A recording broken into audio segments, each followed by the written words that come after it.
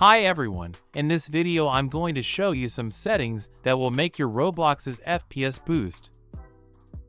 With Roblox open and already inside it, let's press the ESC key.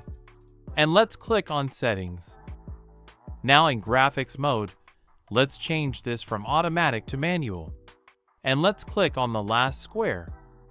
This will make Roblox's graphics a little worse, but it will also make Roblox gain a lot of FPS.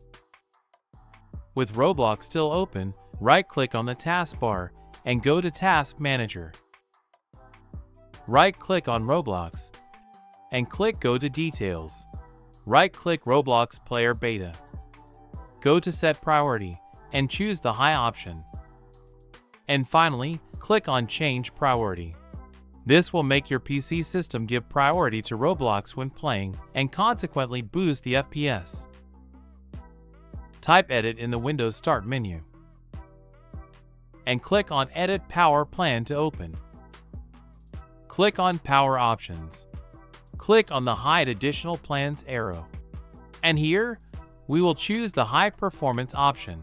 This will make your PC draw more energy, consequently giving it more performance and increasing the FPS in Roblox. I hope this video increased your Roblox FPS.